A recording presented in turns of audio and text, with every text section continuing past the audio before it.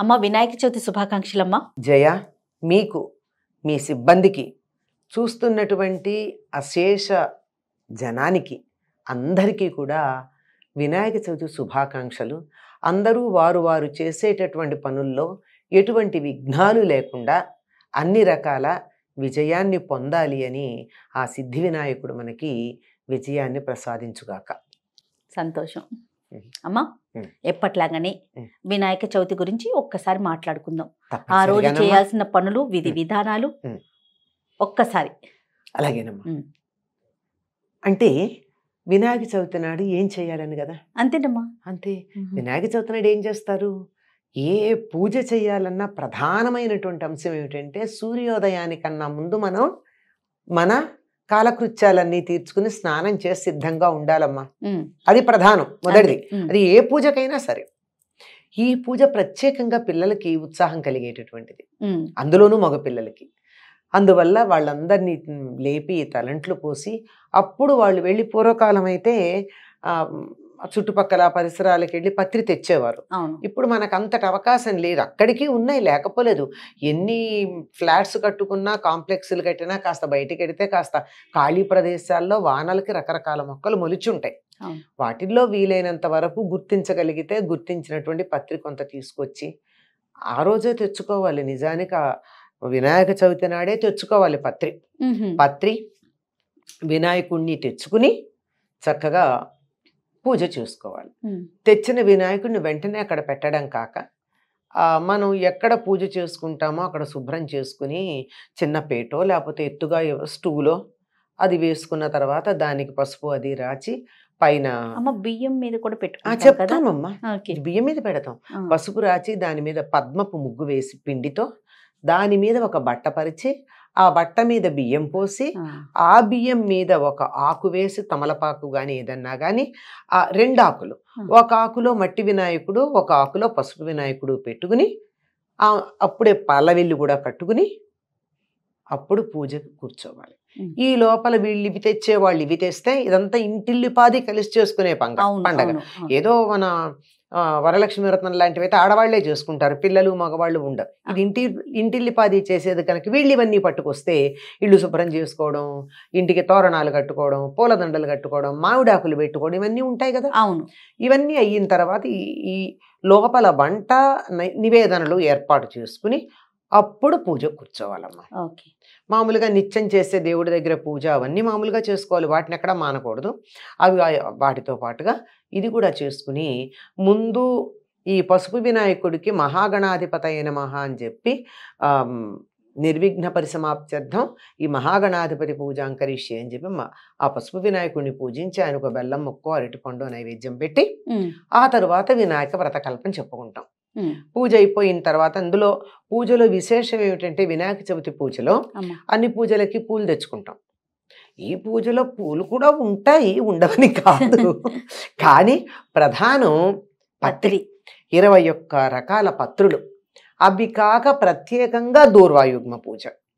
అంటే గరిక జంటలు జంటలుగా తీసుకురావాలి. రెండు గరికలు వేయాలి ఒకటి కాదు. జంట యుగ్మం అంటే జంట కదా? అవునమ్మా. దాంతో ప్రత్యేకమైనటువంటి ఆహ్వానాయ నమ ఆహ్వాహనాయ నమ అని మొదలుస్తూ ఉంటుంది. ఆ నామాలతో ఆయనకి దూర్వాయుగ్మ పూజ చేస్తాం. ఇదంతా అయిన తర్వాత నివేదన అది చేసుకుని కథ చదువుకుంటాం. కథకి చాలా ప్రాధాన్యం ఉంది. వినాయక ఉత్పత్తి శమంతకోపాఖ్యానం ఇవన్నీ చదువుకుని అప్పుడు వండిన పదార్థాలు నివేదన చేసుకుంటాం. ఇది ప్రధానం.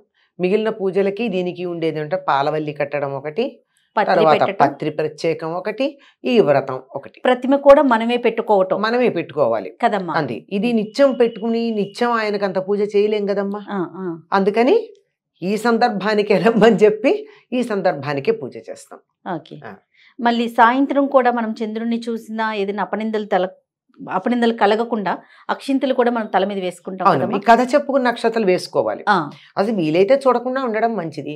ఒకవేళ ఏ కారణంగానో చూశారు అనుకున్నప్పుడు ఆ, రామ్ కృష్ణుడు ఎట్లా చూశాడు? పాలు తీస్తూ పాలలో ప్రతిబింబం చూశాడు. అట్లా అనుకోకుండా జరగచ్చు కదా. అలా చూసినా కానీ దాని ఫలితం మనకి రాకుండా ఉండాలి అంటే ఆ క్షతలు వేసుకోవడం. ఎవరైనా పూజ చేసుకోలేని వాళ్ళు ఉంటారు.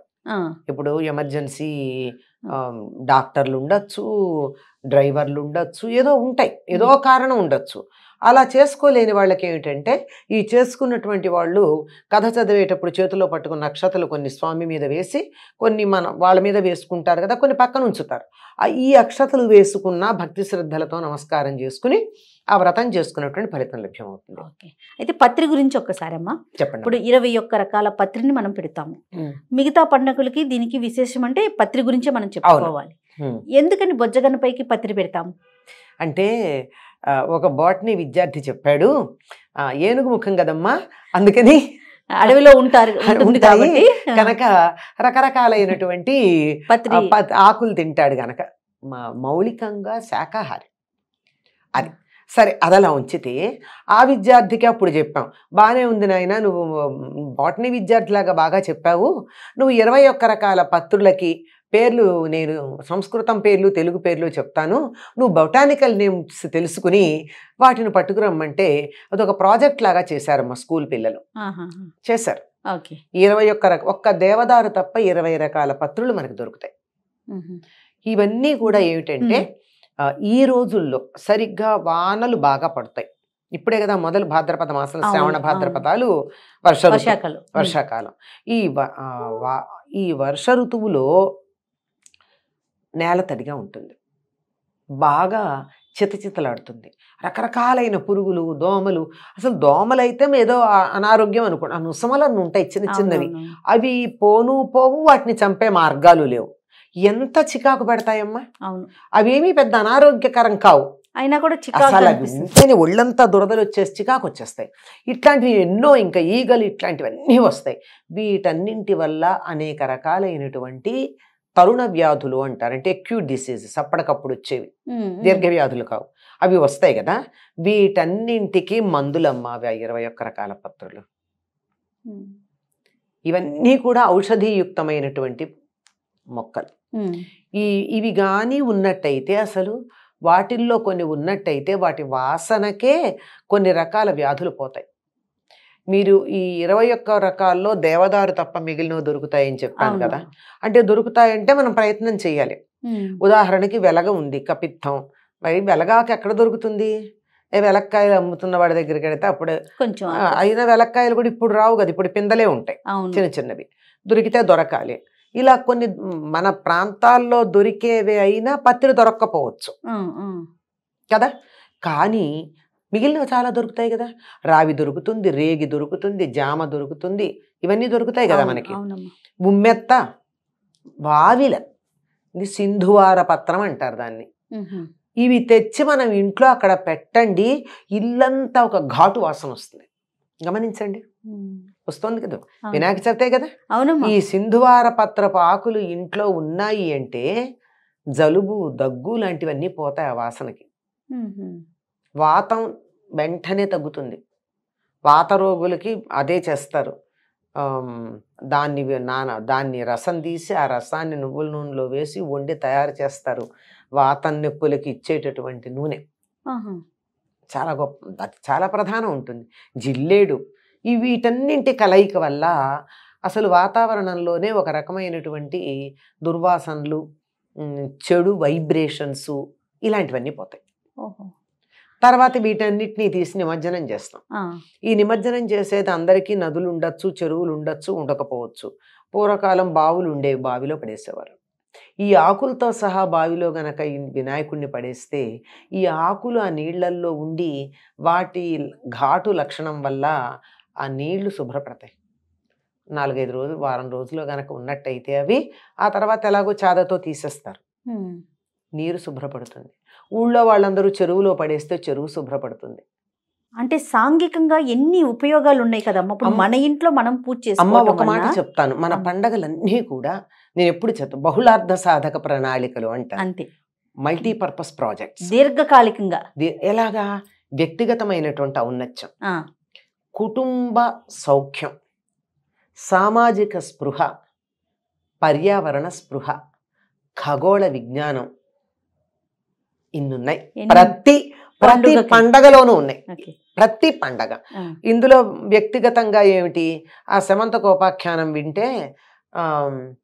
బ్లాక్ మనీ ఉంటే ఏమవుతుందో అర్థమైపోతుంది ఆ, శమంతకోపాఖ్యానం ఎప్పుడు సరిగ్గా వినుండరు. వినుంటే బ్లాక్ మనీ పెట్టుకోరు ఏమవుతుంది? చచ్చూరుకున్నాడు. అంతే. సత్రాజిత్తు సవ్యంగా ఆ. ఉన్నంతకాలం బాగానే ఉన్నాడు. వాడి తమ్ముడు చచ్చిపోయాడు ప్రసేనజిత్తు చనిపోయాడు సత్రాజిత్తు చనిపోయాడు. ఎందుకు? డబ్బు కోసమే. అంతే. ప్రభుత్వానికి ఇచ్చేస్తుంటే ఎంత బాగుండేది? ప్రజలకు మేలు కలిగేది? అవును. ఇప్పుడు బతికుండేవాడు అంటే ఇంకా చాలా ఉన్నాయి ఊరికే ఒక ఒక ఉదాహరణ చెప్తున్నా. వ్యక్తిగతంగా అంతే ఉంటుంది. తర్వాత ఈ భూమి యొక్క కుండలినికి సంకేతం వినాయకుడు. అంచేత ఆ కుండలిని శక్తికి సంబంధించినటువంటి శక్తి కలుగుతుంది. పిల్లల చేత గుంజీలు తీయిస్తాం దానివల్ల కుదురొస్తుంది. అందువల్ల చాలా చాలా ఉపయోగం ఉంది. మంచి శారీరకమైనటువంటి దార్ఢ్యము శక్తి ఇవన్నీ వస్తాయి. ఇవన్నీ ప్రయోగాల్లో చూసి చెప్పినటువంటివే. ఇది వ్యక్తిగతం. కుటుంబంలో అందరూ కలిసి ఉంటారు ఆ వినాయకుడిని చూసిన తర్వాత ఎవరికన్నా ఏం కలుగుతుందమ్మా? ఏమన్నాడు? నువ్వు భూమండలానికి నాలుగు మూడు ప్రదక్షిణాలు చేసిరా అన్నాడు. అమ్మా నాన్నలకి ప్రదక్షిణం చేసి నేను చేసి వచ్చేసాను అన్నాడు అవును అవును. అంటే అమ్మా నాన్నల్ని గౌరవించినట్టయితే ప్రపంచం అంతా చుట్టొచ్చినంత ఫలితం అనే సంగతి ఆ కథ వినే పిల్లవాడి బుర్రలోకి ఎక్కేటట్టుగా చెప్పగలిగితే ఎంత ప్రయోజనం ఉందో ఆలోచించండి. కుటుంబ సౌఖ్యం కుటుంబం ఫ్యామిలీ. ఒక కుటుంబంలో సంబంధాలు ఎట్లా ఉండాలి? కుటుంబ సంబంధాలు అనేది ప్రత్యేకంగా తెలుస్తూనే ఉంది. ఇంకా ఇంకా లోతుగా చెప్తే చాలా ఉన్నాయి. ఊరికే ఉదాహరణకు చెప్పాను. నేను. ఇప్పుడు వ్యక్తిగతమైంది కుటుంబమైంది ఇంకా సమాజానికి సంబంధించింది పర్యావరణానికి సంబంధించింది ఎంత ఉందో చూడండి. వీటన్నిటిని మించి వాళ్ళు ఎందుకు చేసుకుంటున్నాము అంటే ఖగోళ విజ్ఞానం ఉంది అందులో. కనుక ఒక పండగ ఏదో చేసుకుంటా చేసుకోవడంలో తప్పేం లేదు. తెలిసి తెలియకుండా చేసినా ప్రయోజనం ఉంటుంది. ఈ మందు ఏ ఈ మందులో ఉన్నటువంటి రసాయనాలు ఏమిటి అని తెలియకపోయినా మందేసుకుంటే పనిచేస్తోందా? ఖచ్చితంగా పనిచేస్తుంది కదా. అట్లాగే కొంచెం భక్తిగా శ్రద్ధగా ప్రేమగా చేస్తే పనిచేస్తుంది. తెలిస్తేనేమో ఆనందంగా కూడా ఉంటుంది. ఆనందం యాడ్ అవుతుంది. దానికి కలుస్తుంది. అంతే. ఇన్ని రకాల ప్రయోజనాలు ప్రతి పండుగ పండుగకు ఉన్నాయమ్మా. అందులో ఇది పిల్లలకు కూడా మనం తప్పనిసరిగా నేర్పించాల్సినటువంటిది. దానిలోనూ సామూహికంగా కూడా చేసుకుంటాం సామూహికంగా చేసుకోవాలి. అసలు గణపతి అంటేనే గణము అంటే గుంపు. గణపతి అంటే గణాలని ఒకే వైపు వెళ్ళేటట్టుగా చేయగలిగిన శక్తికి గణపతి అని పేరు. అంటే సమూహాన్ని ఒకే మాట మీద నడిపించగలవాడు. ఒకవైపుకి. ఒకే మాట మీద ఒకే అభిప్రాయంతో. ఒకే లక్ష్యం వైపుకు నడిపించగలిగినటువంటి వాడు. కనుక అందుకే ఒకప్పుడు బాలగంగాధర తిలక్ భారతదేశానికి స్వాతంత్ర్యం కావాలి అంటే అందరూ ఒక్క చోట కలిసి ఉండడానికి వీలుగా దీనికి గణపతి ఉత్సవాలను సామూహికంగా చేయడం అనే ప్రక్రియ ఎప్పుడో పాతకాలంలో ఉండేది మధ్యలో పోయింది. దాన్ని పునరుద్ధరించాడు. తిలక్ గారు కంకణం కట్టుకున్నారు. కట్టుకుని దాన్ని అంతా ఇప్పుడు సామూహికంగా చేసుకోవడానికి. అందరూ కలిసి చేస్తున్నారా లేదా? అవునమ్మా. అంచేత ఈ ఒకే ప్రయోజనాన్ని దృష్టిలో పెట్టుకుని కలిసి ఒకవైపే ప్రయాణం చేసేటి ఒకే లక్ష్యం కోసం ప్రయత్నం చేయడం అనేటటువంటి ఒక అద్భుతమైన విషయానికి ప్రాతినిధ్యం వహించేవాడు గణపతి గ్రూప్ లీడర్. అంతే. అంతే. అమ్మ మరి మట్టి వినాయకుడినే పెట్టుకుంటాం. దీని వెనకాల ఏమైనా ఆంతర్యం ఉందమ్మా? ఇందులో రెండు ఉన్నాయమ్మా అమ్మా. తాత్వికంగా ఒకటి ఉంది రెండోది పర్యావరణ సంబంధంగా ఉంది తాత్వికంగా ఏమిటి అంటే పార్వతీదేవి తన నలుగు పిండితో వినాయకుడిని తయారు చేసింది. అంటే పార్వతీదేవి ఎవరు సాక్షాత్తు ప్రకృతి. ప్రకృతి స్వరూపిణి. ఆ ప్రకృతి స్వరూపిణి అయినటువంటి పార్వతీదేవి శరీరం నుంచి వచ్చినటువంటి దాంతో తయారు చేసింది మొట్టమొదట. కనుక గణపతి యొక్క ఆకృతి రూపం ఏర్పడడానికి ప్రకృతి నుండి తీసుకోవాలి మనం మట్టి. ఎంత బాగుందమ్మా. అది తాత్వికం. ఆ, ఇంకా పర్యావరణ సంబంధం ఏమిటంటే ఈ పల్లెల్లో ఈ వినాయకుడిని తయారు చేయడానికి మెత్ బాగా బంక కావాలి కదా బంక మట్టి. ఉండాలి. చెరువుల్లోంచి కాలవ కాలవల ఒడ్డు సమీపంలో నుంచి మట్టి తీసేవాళ్ళు. ఊళ్ళో వాళ్ళందరూ అట్లా తీశారనుకో. చెరువులో పూడికి తీయడం అయిపోయింది? అయిపోతుంది కదా. అయిపోయింది కదా? అవును. బాగుంటుంది. అయిన తర్వాత దాన్ని మళ్ళీ తీసుకెళ్ళి నిమజ్జనం అందులోనే చేశారనుకో. దేంతో చేస్తారు? ఈ పత్రితో సహా చేస్తారు. ఈ పత్రితో సహా చేసేటప్పటికి చెరువులో ఉన్నటువంటి ఈ దోమల గుడ్లు చేపల గుడ్లు చేపల గుడ్లకి ఏమవదు దోమలు మొదలైన చిన్న చిన్న బ్యాక్టీరియా వాటి వాటికి. సంబంధించినటువంటివన్నీ ఉంటాయే. వాటన్నిటివి కూడా పోయి నీరు స్వచ్ఛమవుతుంది. ఇది పర్యావరణానికి సంబంధించి అది. ఇప్పుడు అదే చెరువులో మీరు మట్టి కాకుండా రసాయన పదార్థాలతో చేసింది చేశారనుకోండి. ఏమవుతుంది? చెరువు నీళ్ళు కొస్త పాడే పాడైపోతాయి కదా. పోని మనం అందులో నీళ్ళు తాగట్లేదండి మనకి ఎక్కడి నుంచో నీళ్ళు వస్తున్నాయి కొనుక్కుని తాగుతున్నాం కదా.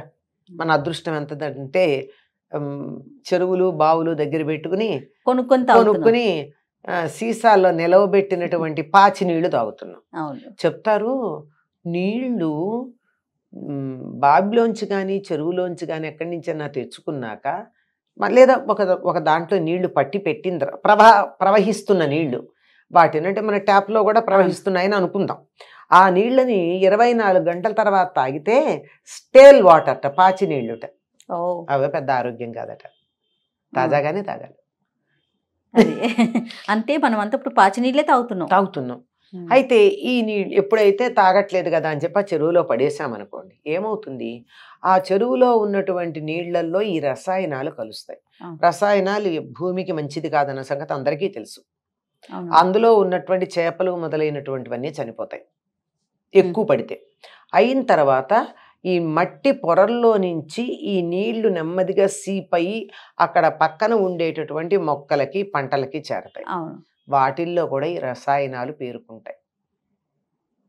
మనం తీసుకునే ఆహారంలో కూడా విష పదార్థాలు మనం ఆర్గానిక్ అని చెప్పి తెచ్చుకునేటటువంటి దాంట్లో కూడా విష పదార్థాలు ఎలా చేరుతున్నాయంటే చెరువులని కాలవలని పంట కాలవలని రసాయన. పదార్థాలతో కలుషితం చేయడం వల్ల అవి అలా వెళ్ళి లెడ్ కూడా మన బియ్యంలో ఉంటుంది అని చెప్తున్నారు. ఎలా పెడుతుంది లెడ్ బియ్యంలోకి నీటి ద్వారా నీరు నీరు మీరు పైనుంచి పోయడం మాట అటు నుంచి చెరువులో ఉంటే కూడా నీళ్ళు భూమి పొరల్లో నుంచి ఇలా వెళ్ళి లోపలికి ఇంకుతాయి కదా. ఆ ఇంక్ అక్కడికి వెళ్ళి ఆ వెళ్ళేటప్పుడు దాంతో పాటు వీటిని ట్రేసెస్ తీసుకెళ్ళిపోతాయి. అందువల్ల నదులని చెరువులని మనం. కలుషితం చేసుకోకూడదు రసాయనాలతో. అలా చేయకుండా ఉండడం కోసం మట్టి వినాయకుడిని పెట్టుకోవాలి దీని వెనకాల ఎంత ఆంతర్యం ఉంది? చాలా ఉన్నాయి. మన ఇవాళ కొన్ని చెప్పుకుంటున్నాం అసలు. చెప్పాలి అంటే గణపతి పూజా విధానం పర్యావరణం గణపతి పూజా విధానం కుటుంబ సౌఖ్యం గణపతి పూజా విధానం వ్యక్తిగతమైనటువంటి అభివృద్ధి పర్సనాలిటీ డెవలప్మెంట్ ఇలాంటి విషయాలు చెప్పుకోవాలంటే అబ్బో మామూలు కాదు. అవన్నీ చెప్పుకోకపోయినా ఆచరిస్తే ఫలితం ఉంటుందమ్మా. తప్పకుండా అమ్మా. మరొక్కసారి వినాయక చవితి అందరికీ. కూడా వినాయక చవితి శుభాకాంక్షలు శుభం భూయాత్